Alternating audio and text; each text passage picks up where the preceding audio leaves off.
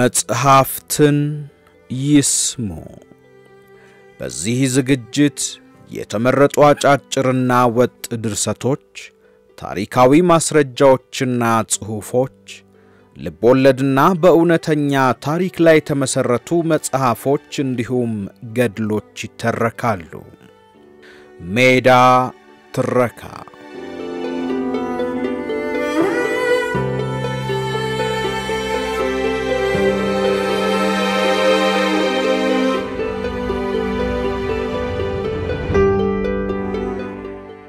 የመጽሐፉ ርዕስ የኤርትራ ጉዳይ፣ ጸሐፊ ዘውዴ ረታ፣ በኢትዮ ሜዳ ቻናል የቀረበ።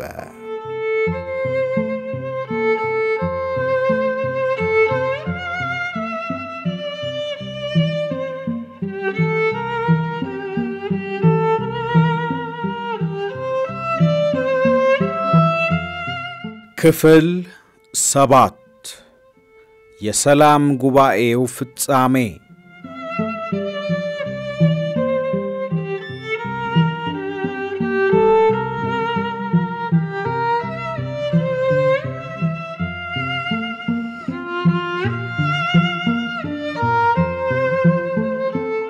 የአዶልፍ ሂትለር ግብረ አበር ለሆኑት አምስት የፋሽስት አገሮች ጣሊያን፣ ሁንጋሪና ቡልጋሪያ ሮማንያና ፊንላንድ የተዘጋጁትን የእርቅ ስምምነቶች ለማጽደቅ የ21 ሀገሮች መልእክተኞች ለሁለት ወር ከ15 ቀን በፓሪስ ታስረው መቆየት ግዴታ ሆነባቸው። ይህ የሰላም ጉባኤ ረዥም ጊዜ የወሰደበት ዋናው ምክንያት በአራቱ አያላን መንግሥታቶች መካከል ምዕራባውያኖች በአንድ በኩል ሆነው ሶቪየት ኅብረት በሌላ በኩል አፈንግጦ ለየጥቅማቸው በማሰብ ሲነታረኩ በመቆየታቸው ነው እንጂ የሚዘጋጁት የእርቅ ውሎች ይህን ያህል የተወሳሰቡና አስቸጋሪዎች ሆነው አልነበረም። ከአራቱ ሀያላን መንግሥታቶች ሌላ የጉባኤው ተካፋይ ከሆኑት 17 ሀገሮች መካከል አስራ ሁለቱ የምዕራባውያን ደጋፊዎች ሲሆኑ ቀሪዎቹ አምስቱ ሀገሮች የመስኮብ ተከታዮች ናቸው። ጉባኤው ሥራውን ከመጀመሩ በፊት ማናቸውም ጉዳይ በሁለት ሦስተኛ የድምፅ ብልጫ እንዲወሰን በአራቱ ሀያላን መካከል በተደረገው ስምምነት መሠረት ሂሳቡ ሲታይ ምዕራባውያኖች 15 ድምፅ ሲያከማቹ ሶቪየት ኅብረት ከስድስት የበለጠ ሊኖረው አልቻለም። በዚህ አሰራር ምዕራባውያኖቹ ሁልጊዜ የሚፈልጉትን ለማስፈጸም በቂ ድጋፍ አላቸው ማለት ነው። የስታሊን መንግሥት የዓለምን አቋም ከለዋወጠው ከያልታ ስብሰባ ጀምሮ በምዕራባውያኖች ላይ የጠነከረ አቋም በመውሰድ በብዙ ረገድ የጠቀመው ስለሆነ የበለጠ ለማግኘት ማስፈራራቱን መቀጠል አስፈላጊ መስሎ ታየው። በዚህ በሰላም ጉባኤ ላይ ማናቸውም ውሳኔ የሚጸድቀው በሁለት ሦስተኛ ድምፅ ብልጫ ነው ቢባልም ዞሮ ዞሮ ተካፋይ ከሆኑት አገሮች መካከል አብዛኛዎቹ የምዕራብ ወገኖች በመሆናቸው ሶቪየት ኅብረት ምንም ኃይል እንደሌለው ሙሴ ሞልቶቭ ስለተረዳ ለዚህ አንድ አፍራሽ መንገድ መፍጠር አለብኝ ብሎ ተነሳ። ይኸውም ማናቸውም ጉዳይ በጉባኤው የሚወሰነው በሁለት ሦስተኛው የድምፅ ብልጫ መሆኑ ሳይለወጥ ወሳኝ በሆነው በሁለት ሦስተኛው ድጋፍ ወይም የተቃውሞ ቁጥር ውስጥ የሶቪየት ኅብረት ድምፅ ከሌለበት ሊጸድቅ አይችልም የሚል ነበረ። ይህ ምን ማለት ነው? በሌላ አነጋገር ለምሳሌ ጣሊያን ለሶቪየት ኅብረት የምትከፍለው የጦር ካሳ መጠኑ መቀነስ አለበት የሚል ሐሳብ ለጉባኤው ቀርቦ 15 ሀገሮች ቢደግፉትና ስድስቱ ቢቃወሙት የሶቪየት ኅብረት ድምፅ ከደጋፊዎቹ መካከል ካልተገኘ አንቀጹ አይጸድቅም ማለት ነው። በሰው ልጅ ሕይወት ውስጥ በልማድ እንደሚታወቀው አንዳንድ ጊዜ ጥጋበኛ ፉከራውን ከመጠን በላይ ሲያንዛዛ ፈሪውም ቢሆን ሐሞቱ ይቆርጥለትና የመጣው ይምጣ ብሎ ሲመክት ባልጠበቀው መንገድ አሸናፊ ይሆናል።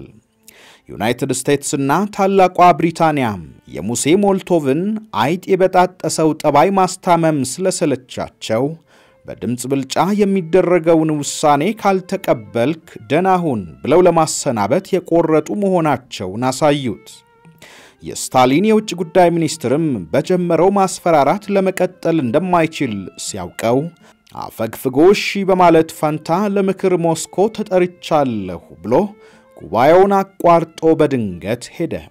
በዚህ ጊዜ ብዙዎቹ መልእክተኞች ሙሴኔት ወደ ሀገሩ የሄደው ያለ ጥርጥር አባ ነብሮ ስታሊን ተቆጥቶ ስለሆነ የሰላም ጉባኤው ከሁለቱ ወር ድካም በኋላ መፍረሱ ነው በማለት ተጨንቀው ነበረ።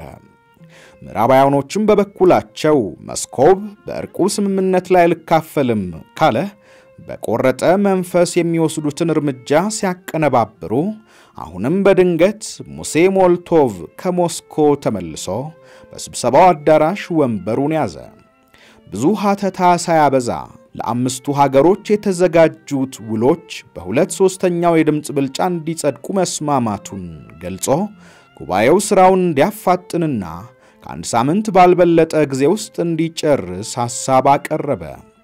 እንደ ተባለውም ሙሴኔት ወደ ሀገሩ ሄዶ በአባ ነብሮ ተባርኮ ከተመለሰ በኋላ በሰባት ቀናት ውስጥ ለአምስት የቀድሞ የፋሽስት ሀገሮች የተዘጋጁትን 223 አንቀጾችንና 33 አባሪዎች ጉባኤው ያለ አንዳች እንቅፋት በድምፅ ብልጫ ማጽደቅ ቻለ። ሐምሌ 29 1946 ዓመተ ምህረት የተከፈተው ይህ የሰላም ጉባኤ ከ75 ቀናቶች በኋላ ጥቅምት 15 1946 ዓመተ ምህረት ሥራውን ሲፈጽም ባለመታደል በዓለም የታወቁት የዜና ማሰራጫ ድርጅቶችና ጋዜጦች እንደሚጠበቀው ሊያጅቡትና ሊያሟሙቁለት ሳይችሉ ቀሩ። ምክንያቱም በኑረምበርግ የተቋቋመው የአራቱ ኃያላን ፍርድ ቤት የሙት በቃ የፈረደባቸው አስራ አንዱ የናዚ ባለሥልጣናት ቅጣታቸው በስቅላት የተፈጸመው ጥቅምት 15 ቀን ሲነጋጋ ስለሆነ የዓለም ሕዝብ ጆሮ ወደ ኑረምበርግ ስላመራ ነበረ። በኑረምበርግ ከተሰቀሉ አስሩ ከፍተኛ የናዚ መንግሥት ባለሥልጣናት መካከል የጀርመንን ድል መሆን አስታውቆ የጦርነት ማቆሚያ ስምምነቱን የፈረመው ማርሻል ዊልሄልም ካይተል የውጭ ጉዳይ ሚኒስትር የነበረውና በ1939 ዓመተ ምህረት አውሮፓ በጦርነት እሳት ውስጥ ስትጠልቅ ከሙሴ ሞልቶቭ ጋር የወዳጅነት ጤና ጽዋ የተለዋወጠው ቮን ሪበንትሮፕ የናዚ ideology ፈላስፋ የነበረው አልፍሬድ ሮዝንበርግ ይገኙበታል። የኑረምበርግ ፍርድ ቤት ዳኝነት አፈጻጸምና የስቅላቱ ታሪክ የየጋዜጦቹን ዋና አምዶች ስላጥለቀለቁት ሁለት ወር ተኩል የፈጀው የሰላም ጉባኤ ውጤት በሁለተኛ ደረጃ ዜና ከመቅረብ የበለጠ ድል ሊያገኝ አልቻለም።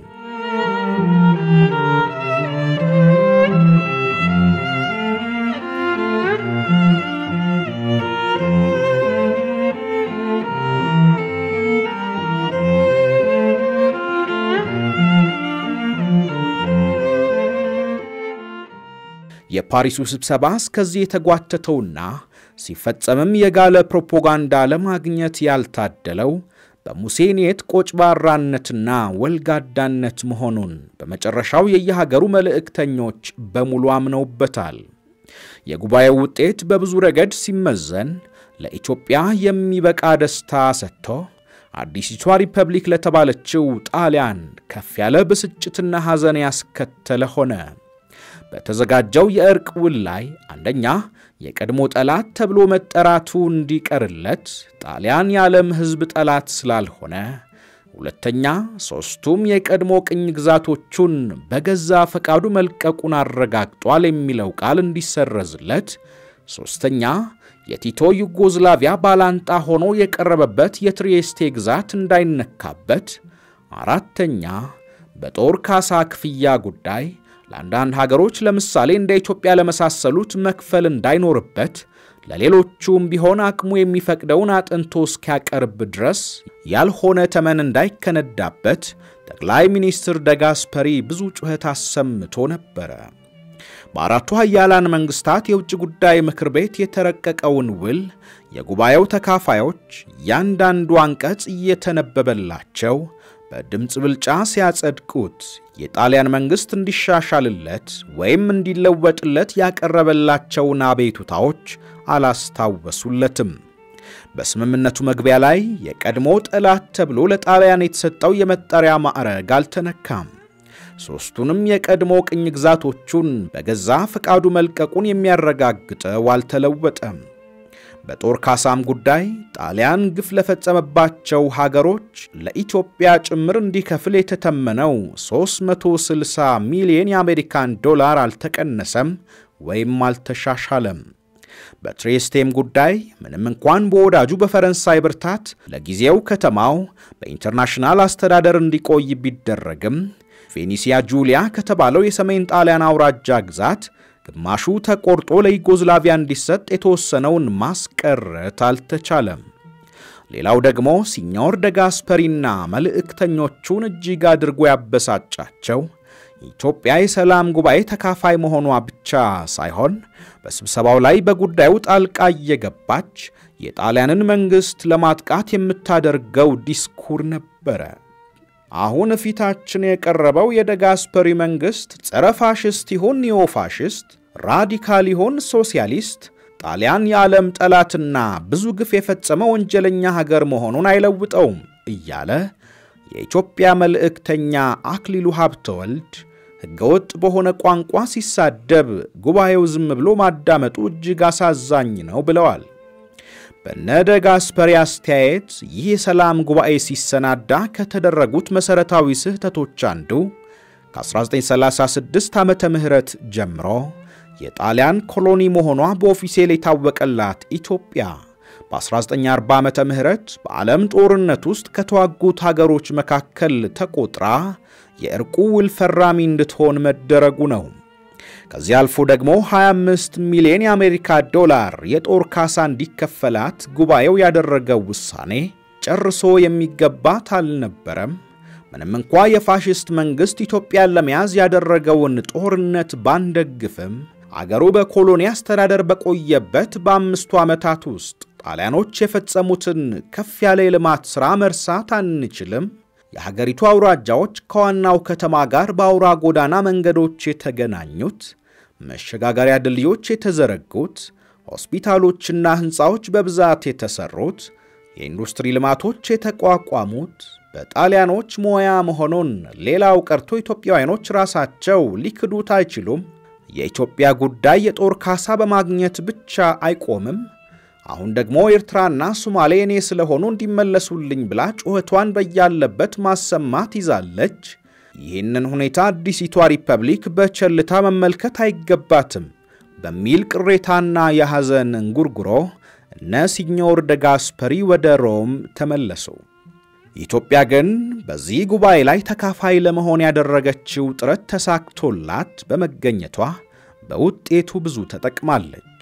መጀመሪያ ጣሊያንን ወግተው ድል ካደረጉት ሀገሮች ጋር ተሰልፋ የእርቁን ውል ፈራሚ በመሆኗ ከፍ ያለ ክብርና ደስታ ሰጥቷታል። ሁለተኛ የቀድሞቹ የጣሊያን ኮሎኒዎች ተመልሰው ለጣሊያን እንዳይሰጡ ለመከራከርና የጥንት አካሎቿ የሆኑት ኤርትራና ሶማሌ እንዲመለሱላት የታሪክ ማስረጃዎችን በማቅረብ ለመከራከር አስችሏታል። ሦስተኛ ባልተጠበቀ ሰዓት ከኤርትራ ግዛት የምጽዋ ባለቤት እኔ ነኝ ብሎ የመጣውን የግብፅ መልእክተኛ ጥያቄው መሠረት የሌለው መሆኑን በማስረዳቷ ጉባኤው የቀረበውን ማመልከቻ ሰርዞታል።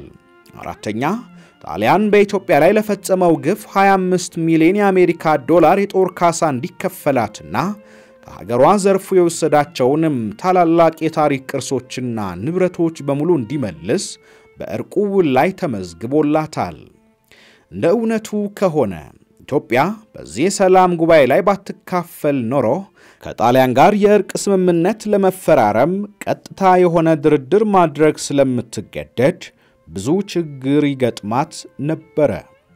ንግግሩም በሁለቱ ሀገሮች መካከል በሚደረግበት ጊዜ ፈረሱ ላይ የሚወጣው ጣሊያን ስለሆነ ኢትዮጵያ ብቻዋን መብቷን የምታስከብርበት አቅም እንደማይኖራት የታወቀ ነው። አዲሶቹ የጣሊያን መሪዎችም የፋሽስት ሸሚዛቸውን ለይስሙላ የለወጡት በቅርቡ ስለሆነ ለኢትዮጵያ የጦር ካሳ ለመክፈልና የዘረፉትንም የታሪክ ቅርስ የሆኑ ንብረቶች ለመመለስ ጨርሶ አይስማሙም ነበረ። ኢትዮጵያን በብዙ ረገድ የጠቀማት በዚህ ሰላም ጉባኤ ላይ ተካፋይ መሆኗ ነው።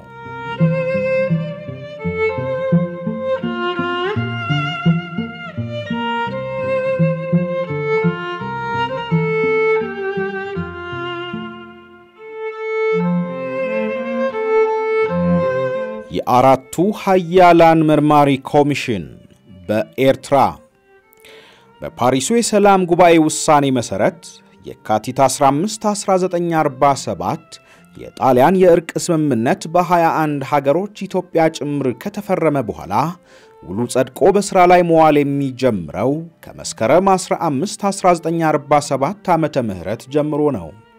የአራቱ ሀያላን መንግሥታቶች ከመስከረም 15 1947 ዓ ም እስከ መስከረም 15 1948 ድረስ የጣሊያን ቅኝ ግዛቶች ለነበሩት ሀገሮች የወደፊት አስተዳደር አንድ መፍትሔ መስጠት ካልቻሉ ጉዳዩን ለተባበሩት መንግሥታት ድርጅት አቅርበው እንዲያስወስኑ የፓሪሱ የሰላም ጉባኤ ጠይቋቸዋል።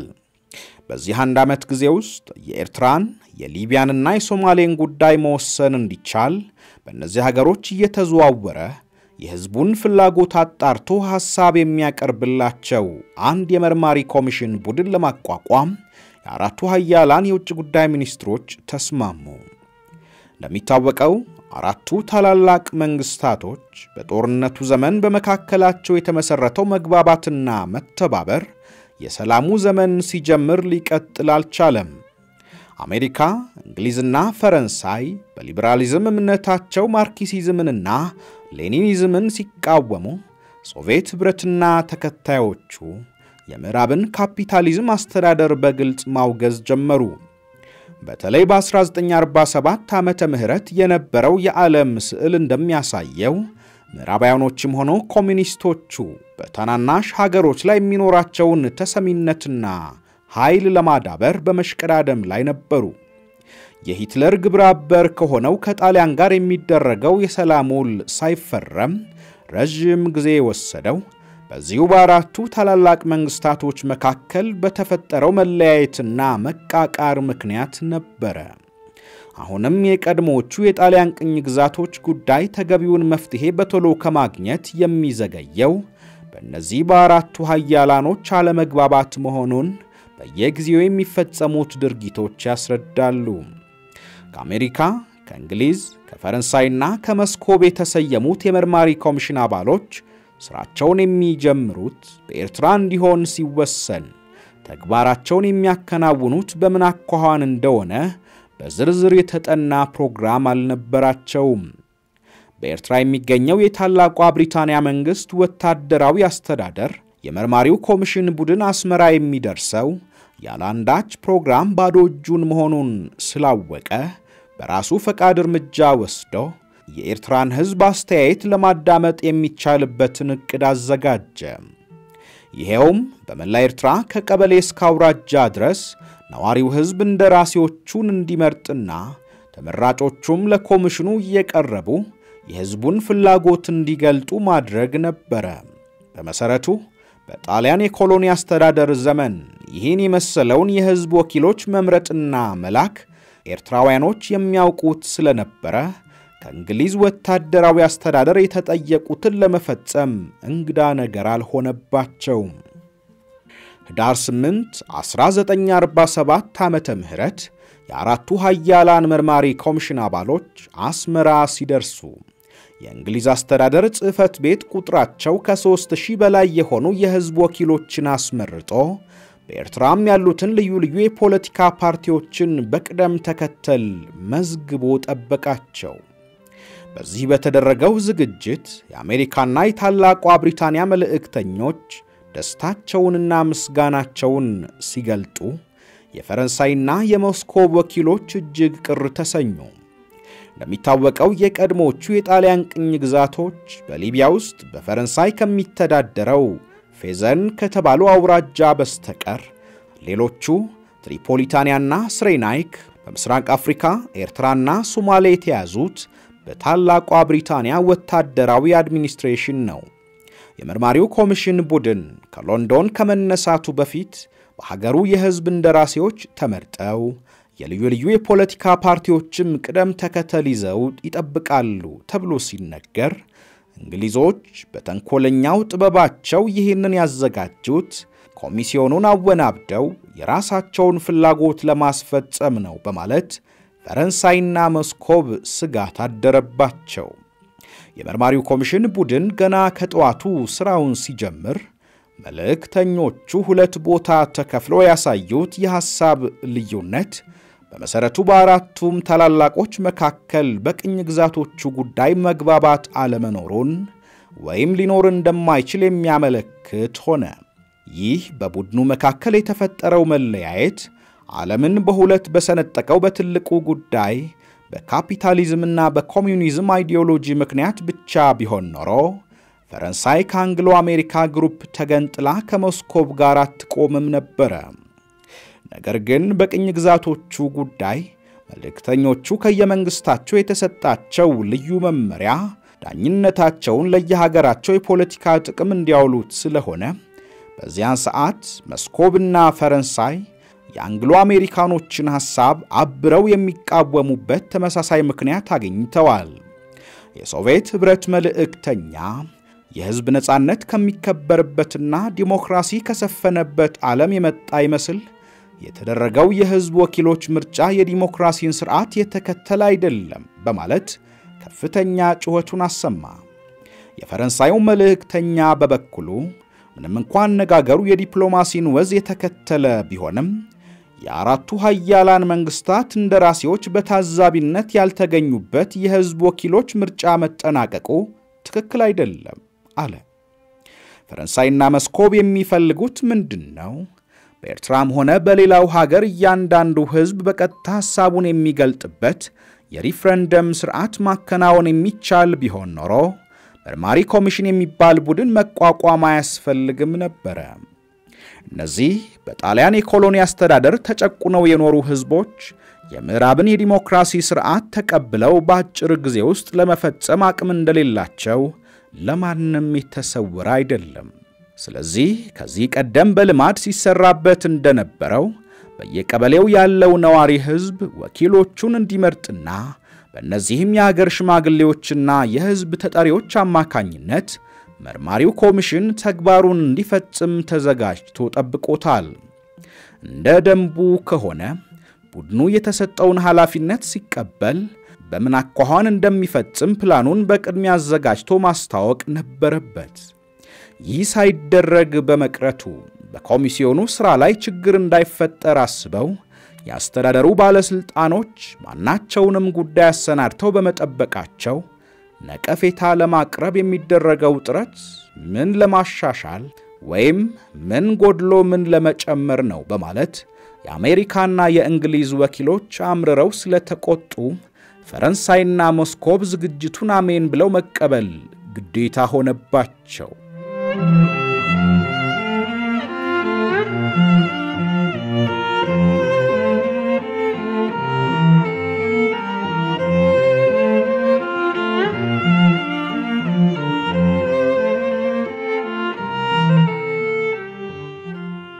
እነዚህ አራቱ ሀያላን መንግሥታት መርማሪዎች ኮሚሽን ተብሎ የተመደቡት ሰዎች የእያንዳንዳቸው የሕይወት ታሪክ ሲታይ ይህን ለመሰለው የኃላፊነት ተግባር አብዛኛዎቹ ጨርሶ ብቁ አለመሆናቸውን ለመገንዘብ አያስቸግርም። የአሜሪካው መልእክተኛ ሚስተር ጆን ኡተር የባንክ ሥራ ልምድ ያለው ሲሆን ለጥቂት ጊዜ በሰሜን አፍሪካ ጉዞ አድርጎ ነበር ይባላል። ፈረንሳዩ ሙሴ ኤቲየን ደሮዚዬ በዲፕሎማሲ ሥራ በምዕራብ አውሮፓ የቆየ ቢሆንም አፍሪካን በተለይም የምሥራቁን ክፍል አይቶት አያውቅም። ሦስተኛው የመስኮቡ ሚስተር አርቴሚ ፊዮዶሮቭ ከሁሉም የባሰ ነው። ሙያውና እስካሁንም የሠራው በውትድርና ብቻ ሲሆን አፍሪካ የሚባለውን አህጉር ጨርሶ አይቶት አያውቅም። የታላቋ ብሪታንያ መልእክተኛው ፍራንክ ስታርፎርድ የእንግሊዝ የ colony ሚኒስትር ባልደረባ የነበረና በጦርነቱም ዘመን በኢትዮጵያና በኤርትራ ተመድቦ ያገለገለ officer ነው። የኢትዮጵያ ነፃነት ከተመለሰ በኋላ ሚስተር ስታርፎርድ የገንዘብ ሚኒስትር የአቶ ይልማ ደሬሳ አማካሪ ሆኖ ለሁለት ዓመት የሠራ በመሆኑ ስለ ሀገራችን ያለው experience ከሌሎች ጓደኞቹ ጋር ሲመዘን እጅግ የላቀ ሆኖ ይገኛል። የመርማሪው ኮሚሽን ቡድን የኤርትራን ሕዝብ ፍላጎትና ስሜት ለመረዳት የሚችለው የታላቋ ብሪታንያ ወታደራዊ አስተዳደር ባዘጋጀለት ፕሮግራም መሠረት ብቻ ስለሆነ የቡድኑ የመጀመሪያው ሥራ በአስመራ ከተማ የልዩ ልዩ የፖለቲካ ፓርቲ መሪዎችን በየተራ እንዲያነጋግር ተወሰነ። እነዚህም የማኅበረ ፍቅሪ ሀገር፣ የአንድነት የሀገር ፍቅር ማኅበር፣ የራቢጣ አልኢስላሚያ የእስላም ሊግ፣ የሊብራል ፕሮግሬሲስት፣ የፕሮ ኢጣሊያ ወይም የጣሊያን አፍቃሪዎች፣ የምጽዋ የእስላም ሊግ ማኅበር ናቸው። በትግርኛ ቋንቋ ማኅበረ ፍቅሪ ሀገር የተባለው የኤርትራና የኢትዮጵያ ሕዝቦች አንድነት ማኅበር የተቋቋመው ኢትዮጵያ ከፋሽስት እንደተላቀቀች ወዲያውኑ በሚያዝያ 1941 ዓመተ ምህረት ስለሆነ በሀገር ውስጥ ከተፈጠሩ የፖለቲካ ፓርቲዎች ሁሉ የመጀመሪያውና እጅግ የታወቀው ትልቁ ድርጅት ነው። የአንድነት ማኅበር ሲቋቋም ዓላማው ያለአንዳች ገደብ ከእናት ሀገራችን ከኢትዮጵያ ጋር እንዋሃድ በሚል ጽኑ ሐሳብ የተመሠረተ ሲሆን በዚያን ጊዜ የመላው ኤርትራን ሕዝብ ድጋፍ እንዳገኘ የሚቆጠር መሆኑ የሚክድ የለም። ማኅበረ ፍቅሪ ሀገር ክርስቲያኖቹንና እስላሞቹን በማስተባበር ከዓላማውና ከግቡ ለመድረስ የሚያስችለው ትልቅ ኃይል የያዘ መሆኑ ሲታያቸው የእንግሊዝ ወታደራዊ አስተዳዳሪዎች ከፍ ያለ ስጋት አደረባቸው። በ1946 ዓመተ ምህረት በፓሪስ የተካሄደው የሰላም ጉባኤ በሰጠው ውሳኔ መሠረት የአራቱ ሀያላን መንግሥታቶች የኤርትራንና የሌሎቹንም የጣሊያን ቅኝ ግዛት ሕዝቦች ፍላጎታቸውን የሚያጠና መርማሪ ኮሚሽን ከመላካቸው በፊት ማኅበረ ፍቅሪን ለማዳከም እንግሊዞች ልዩ ልዩ የተንኮል ዘዴዎችን አዘጋጁ። በመጀመሪያ የማኅበረ ፍቅሪ ሀገር አባል ሆነው ሲታገሉ ከነበሩት እስላሞች መካከል እንደነ ኢብራሂም ሱልጣን የመሳሰሉትን በጥቅም ደልለው የአንድነት ተቃዋሚዎች እንዲሆኑ እርዳታ አደረጉላቸው። በኤርትራ በከሰላና በተሰነ ያለው የካትሚያ ማኅበር መሥራች ልጅ የሆኑት በሃይማኖት መሪነታቸው እጅግ በታወቁት በሰኢድ አቡበከር ኤል ሞርጋኒ ሊቀመንበርነት በጥር ወር 1947 በከረን ከተማ እጅግ ከፍ ያለ የእስላሞች ስብሰባ ተደርጎ የራቢጣ ኤል እስላሚያ የፖለቲካ ፓርቲ ተቋቋመ። ዓላማውም መጀመሪያ ኤርትራ ከኢትዮጵያ ጋር ምንም አይነት የዘር የባህልና የታሪክ ግንኙነት የሌላት መሆኑን ለዓለም ማሳወቅ፣ ሁለተኛ ኤርትራ ለተወሰነ ዘመን በታላቋ ብሪታንያ ይህም ካልተቻለ በተባበሩት መንግሥታት ድርጅት በሞግዚት አስተዳደር ከቆየች በኋላ ነፃነቷን እንዲሰጣት የሚል ነበረ። በዚሁ ስብሰባ ላይ የቀድሞ የማኅበረ ፍቅሪ አባል የነበረው ኢብራሂም ሱልጣን አዲስ ለተመሠረተው የራቢጣ ኢስላሚያ ፓርቲ ዋና ጸሐፊ ሆኖ ተመደበ። የሞርጋኒ ቤተሰቦች በኤርትራ የእስልምና ሐዋርያ በመሆን ዝናን ያተረፉ በመሆናቸው በዚህ ከረን ላይ በተመሠረተው ፓርቲ አማካኝነት የመላውን የኤርትራን የእስልምና ተከታዮች በአንድ አቋም ላይ ለማስተባበር ይቻላል የሚል ተስፋና እምነት አድሮባቸው ነበረ። ይሁን እንጂ ከጊዜ በኋላ ውጤቱ እንደታየው ነኤል ሞርጋኒ የተመኙት አልተፈጸመላቸውም። የቤናሞር ጎሳ መሪ ደግለል፣ የኤምቤርኒው ሼክ አልአሚን፣ የሐባብ ባላባት ከንቲባ ኦስማን ህዳድ፣ የአድሼክ ጎሳ መሪ መሐመድ ኦማር ፓሻና ሌሎችም ታላላቅ እስላሞች የማኅበረ ፍቅሪ ሀገር አባል መሆናቸውን አላቋረጡም። እንደዚሁም የኤርትራንና የኢትዮጵያን አንድነት እምነት አልለወጡም። በኢብራሂም ሱልጣን ዋና ጸሐፊነት እንዲመራ የተመሠረተው ይህ የእስላም ሊግ ድርጅት ጉዞውን የቀጠለው በመጀመሪያ ደረጃ የኢትዮጵያና እንዲሁም የጣሊያን ተቃዋሚ ሆኖ ከእንግሊዞች ጋር ወዳጅነቱን በመግለጽ ነበረ። ያለአንዳች ገደብ ኢትዮጵያ ወይም ሞት ብሎ የተነሳውን የሀገር ፍቅር አንድነት ማኅበርን ለማዳከም እንግሊዞች ይህንን የእስላም ሊግ ድርጅት በማቋቋም ብቻ አልተወሰኑም። በክርስቲያኖቹ መካከል የሐሳብ ልዩነት እንዲፈጠር በጣም አስፈላጊ መሆኑን ስላመኑበት ኤርትራ በሸዋ ዘውድ ሥልጣን እጅ መውደቅ የለባትም፣ እኛ የኤርትራ ሕዝቦች ከኢትዮጵያ ጋር እንድንቀላቀል የሚያስፈልገን ከሆነ መብታችንን የሚያስከብርልን የተለየ ውል ያስፈልገናል እያሉ ሲፎልሉ የነበሩትን የነደጃች ተሰማ አስበሮምን ቤተሰቦች በመቀስቀስና በማበረታታት ሊብራል ፕሮግሬሲስት የተባለውን የፖለቲካ ፓርቲ እንዲቋቋም አደረጉ።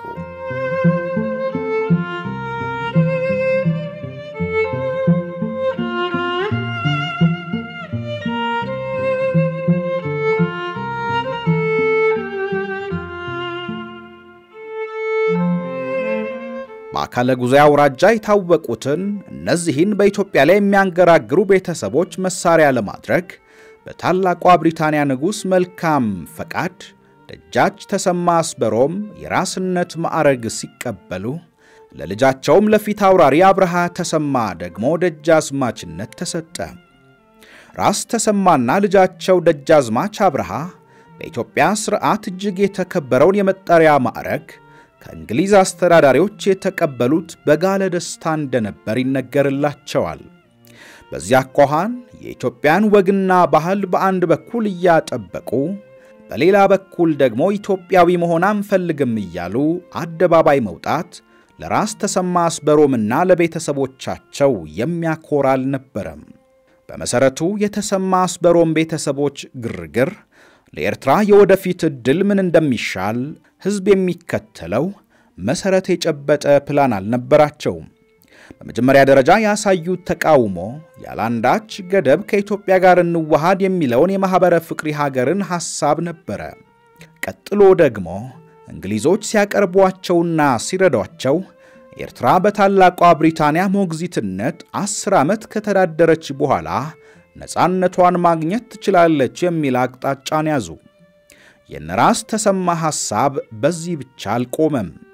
በዘር በቋንቋና በባህል የሚመሳሰለው የትግራይ ሕዝብ ከኤርትራ ጋር ተቀላቅሎ ትልቁ ትግራይ የሚባል ሀገር ለመመስረት ይቻላል የሚለውን የእንግሊዞችን ዕቅድ ለመከተል ተነስተናል አሉ። የነራስ ተሰማ ንቅናቄ ይሄን በመሰለ በተምታታ ሐሳብ በሚዋዥቅበት ሰዓት የመምህርነትና የጋዜጠኝነት ሙያ ልምድ ያላቸው አቶ ወልድ አብ ወልደ ማርያም የሀገር ፍቅር አንድነት ማኅበር የአባልነት ቦታቸውን ለቀው ወደ ነራስ ተሰማ አስበሮም ቤተሰቦች ሲዘዋወሩ ሊበራል ፕሮግሬሲስት የተባለው ፓርቲ ኤርትራ ለኤርትራውያን በሚል መፈክር አንድ አይነት መልክ ይዞ መታየት ጀመረ። የወልዳብ ወልደ ማርያም ከናስበሮም ጋር መሰለፍ ሊበራል ፕሮግሬሲስት የተባለውን ፓርቲ መፍጠር ብቻ ሳይሆን ለዓላማውና ለግቡ መሳካት የእንግሊዞችን ሙሉ ድጋፍና ትብብር ማግኘት ችሏል። አቶ ወልዳብ ቀደም ሲል በአስመራ የብሪቲሽ ኢንፎርሜሽን ሰርቪስ በየሳምንቱ ለሚያወጣው ጋዜጣ አዘጋጅ የነበሩ በመሆናቸው ከእንግሊዞች ጋር በመግባባት ለፓርቲው ከፍ ያለ ፕሮፓጋንዳ ለማሰራጨት አልተቸገሩም። እንግዲህ ከ1941 ዓመተ ምህረት ጀምሮ የአብዛኛውን የኤርትራ ሕዝብ ድጋፍ ይዞ ከኢትዮጵያ ጋር ለመዋሃድ ሲታገል የቆየውን ማኅበረ ፍቅሪ ሀገርን ለመቃወም በእንግሊዞች እርዳታ የተቋቋሙት እነዚህ ሁለቱ የራቢጣ አልኢስላሚያና የሊበራል ፕሮግሬሲስት ፓርቲዎች ሲሆኑ ሌሎች ደግሞ ኢትዮጵያን አንፈልግም የሚል ጩኸት እንዲያሰሙ በጣሊያን ገንዘብ በፍጥነት የተፈጠሩ ጥቃቅን ግሩፖች ተመዝግበው ቀረቡ። ከእነዚህም ውስጥ አንዱ ፕሮ ኢታሊያ የተባለው የጣሊያንን ስሜት ይዞ ለጣሊያን የቆመ ድርጅት ነው። ይህ ፓርቲ በኤርትራ ውስጥ የሚኖሩትን ጣሊያኖችንና ከእነሱም የተወለዱትን ክልሶች እንዲሁም በውትድርና ኮሎኒያሊስት ጣሊያንን ያገለገሉትን ጡረተኞች በጠቅላላውም ሹምባሾችንና ሙንጣዞችን የሚያሰባስብ ነው። ፕሮ ኢታሊያ ስሙ እንደሚያስረዳው ኤርትራን የፈጠረና የወደፊት ዕድሏንም ማዘጋጀት የሚችለው ጣሊያን ስለሆነች ኤርትራ ከኮሎኒያሊስት ጣሊያን መለየት የለባትም ብሎ የጌታውን ባንዲራ ያነገበ ነው። በእንግሊዞችና በጣሊያኖች እርዳታ የተቋቋሙት እነዚህ ልዩ ልዩ ፓርቲዎች ለአራቱ ሀያላን መንግስታት መርማሪ ኮሚሽን ዓላማቸውንና ግባቸውን ለመግለጽ የተሰናዱት ምንም እንኳ በሞግዚት ስለሚያስተዳድራቸው ኮሎኒያሊስት የእያንዳንዳቸው ምርጫ የተለያየ ቢሆንም የማኅበረ ፍቅሪ ሀገርን ድርጅት ለመቃወም ሁሉም በአንድነት የተሰለፉ ናቸው። ጣሊያኖች በቀጥታ እንግሊዞች በስውር ጎዳና የሚያደርጉት ጥረት በመጀመሪያ ደረጃ ማኅበረ ፍቅሪ ሀገርን በመጨቆን ብዙዎቹ ኤርትራውያኖች ለመርማሪው ኮሚሽን የሚገልጹትን አስተያየት በየጥቅማቸው መልክ ለማሰማራት ይቻላል ብለው ነበረ። ይሁን እንጂ ምንም እንኳ በብዙ አቅጣጫ የሚወረወርባቸው ጥቃት ቢበዛባቸው የአንድነት ማኅበር አባሎች እስከ መጨረሻው በቆራጥነት መቋቋምን እንጂ ተዳክመው መታየትን አልፈለጉም።